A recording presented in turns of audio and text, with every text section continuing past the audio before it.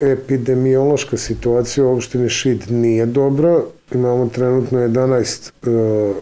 pozitivnih aktivnih slučajeva COVID-19 u Šidskoj opštini, imajući u vidu da je prethodnih e, pet koji su bili pozitivni umeđu vremenu ozdravilo i skinuti su sa liste, mogu da tvrdim znači da je novih pet slučajeva u poslednjih tri dana evidentiran u Šidskoj opštini.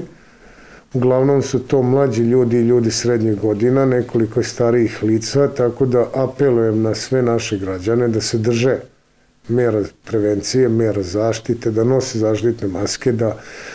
e, izbjegavaju što više mogu bliske kontakte sa bilo kim, da se štite, da prave samozaštitu, isto tako da apelujem na njih da prenose ove reči, jer kažnjavanje ili bilo kakva neka mera koja će restriktivno da deluje na naše građane neće sigurno imati efekta kada se neko zarazi. Više puta sam govorio o tome i sada i dalje govorim i apelujem. Šitska opština i svi naši građani su definitivno vrlo revnosni u tome da se pridržavaju mera zaštite od COVID-19, međutim nalazimo se na prostorima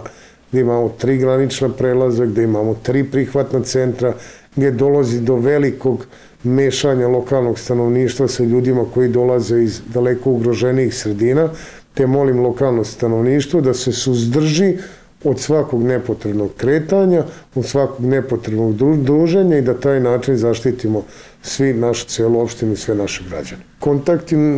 zaraženih lica nisu testirani, oni su evidentirani. E, Zavod za javno zdravlje Sredske Mitrovice svakodnevno vrši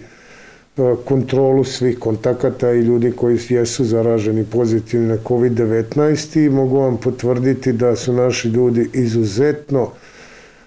izuzetno savesni, da se pridržavaju svih tih mera i da e, nemamo nikakvih problema oko njihove i samoizolacije, prijavljivanja kontakata i samih kontakata koji su ostali u samoizolaciji. Apelujem pre svega na sve naše građane koji su izgubili čulo mirisa i ukusa, koji imaju povišenu temperaturu, koji osete određene bolove u leđima, u butnom delu nogu. Svi koji se ne osjećaju običajeno da se jave u COVID ambulantu šidu, naši ljudi koji su nažalost stekli dovoljno iskustva vezanog za ovaj zli virus COVID-19 će primeniti sve mere koje su propisane da se takvi ljudi hospitalizuju ako imaju veći problem, da se upute i da se pravilno leče u odnosu na simptome koje imaju.